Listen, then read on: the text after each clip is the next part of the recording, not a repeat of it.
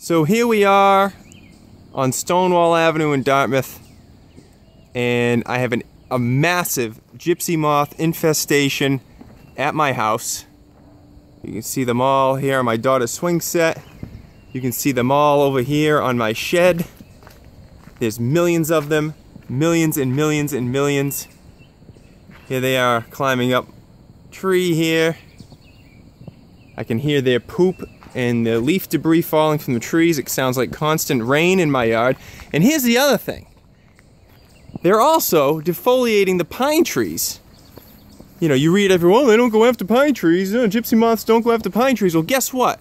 There's no pine needles on these pine trees. There's gypsy moths hanging from the pine trees. And I have fresh green pine trees, all uh, pine needles all over the ground here. You can see the gypsy moths in the pine tree here. So yes, they do eat they do eat pine trees and eat pine needles. And you can see a whole bunch of branches missing pine needles here in this tree.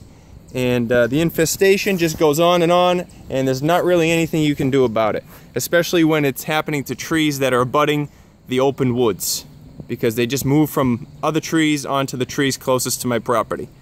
And that's uh, Gypsy Moth Mania 2015 and it's enough to make me not want to go outside in my yard.